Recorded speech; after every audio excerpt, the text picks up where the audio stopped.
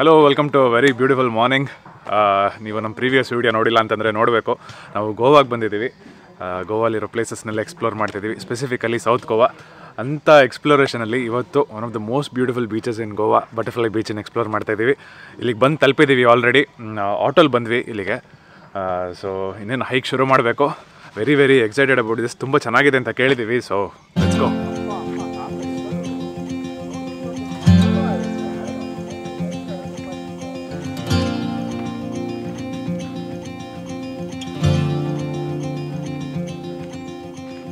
ಒಂದು ಹತ್ತು ಹದಿನೈದು ನಿಮಿಷ ಆಗಿದೆ ಹೊರಟು. ತುಂಬ ಚೆನ್ನಾಗಿದೆ. ಹೀಗೆ ಎಲ್ಲ full greenery covered path mud road ಮೇಲೆ ನಡ್ಕೊಂಡು ಹೋಗ್ತಾ ಇದ್ದೀವಿ ಟೂ ವೀಲರ್ ತಂದರೆ ಐ ಥಿಂಕ್ ಇಲ್ಲಿ ತನಕನೂ ಬರ್ಬೋದು, ಇನ್ನು ಮುಂದಿನ ತನಕನೂ ಹೋಗ್ಬೋದು ಬಟ್ ಆಟೋ ಆಗಿದ್ದರಿಂದ ಅಲ್ಲೇ ನಿಲ್ಲಿಸಿದ್ರು ಫೋರ್ ವೀಲರ್ ಬಂದರೂ ಅಲ್ಲೇ ನಿಲ್ಲಿಸ್ಬೇಕಾಗತ್ತೆ ಅಲ್ಲೇ ಪಾರ್ಕಿಂಗ್ ಇರೋದು. ಆಟೋ ಸಿಕ್ಸ್ ಹಂಡ್ರೆಡ್ ಚಾರ್ಜ್ ಮಾಡಿದ್ರು one way but road was horrible yellow auto ಬಿದ್ದೋಗತ್ತ ಅನಿಸ್ತಾ ಇತ್ತು, ತುಂಬ ಬಂಪಿ ರೈಡ್ ಇತ್ತು but it was fun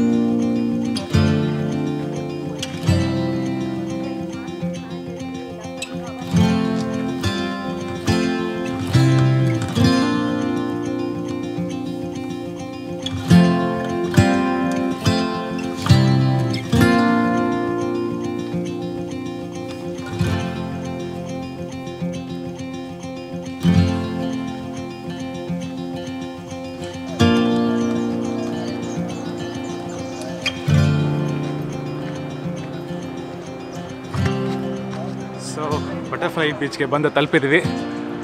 trail ಒಂದು ಟ್ವೆಂಟಿ ಟ್ವೆಂಟಿ ಫೈವ್ ಮಿನಿಟ್ಸ್ ಆಯಿತು ನಮ್ಗೆ ಇಲ್ಲಿಗೆ ಬರೋಕ್ಕೆ. ಸಖತ್ತಾಗಿದೆ. No doubt about it full tree covered ಅಷ್ಟು ಬಿಸಿಲಿದ್ರು ಏನಂತ ಅನಿಸಲ್ಲ.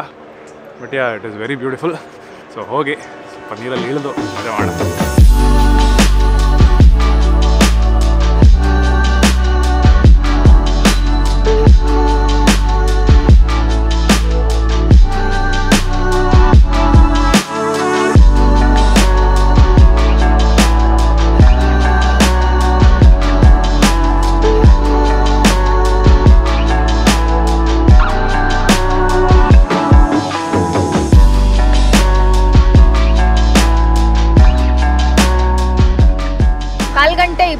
ನಿಮಿಷದಿಂದ ಇಲ್ಲೇ ಬೀಚಲ್ಲಿದ್ದೀವಿ.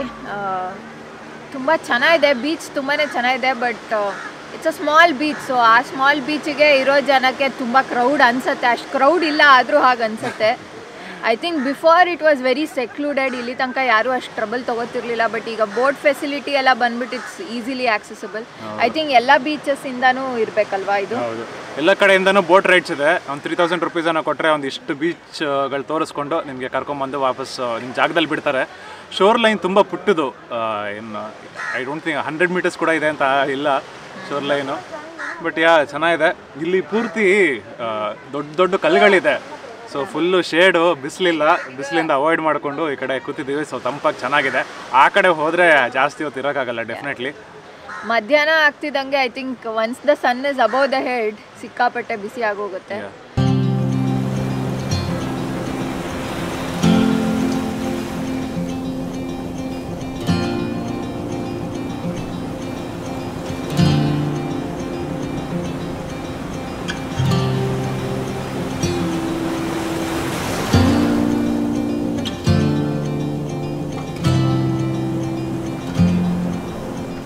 ಆಯ್ತು ಆಲ್ಮೋಸ್ಟ್ ಟೂ ಅವರ್ಸ್ ಮೇಲೆ ಇದ್ವಿ ಇಲ್ಲಿ.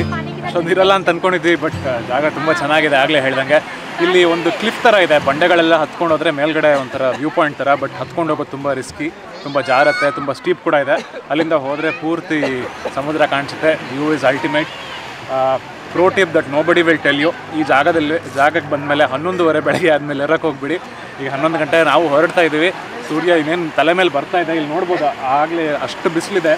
ನಾವು ಆಗಲೇ ಬಂದಾಗ ಅಲ್ಲೆಲ್ಲೋ ಮಧ್ಯ ತನಕ ಫುಲ್ ನೆರಳಿತ್ತು. ಈಗ ಬರ್ತಾ ಇದೆ. ಸೊ ಹನ್ನೊಂದುವರೆ ಮೇಲೆ ಹಂಡ್ರೆಡ್ ಪರ್ಸೆಂಟ್ ಇರೋಕ್ಕಾಗಲ್ಲ.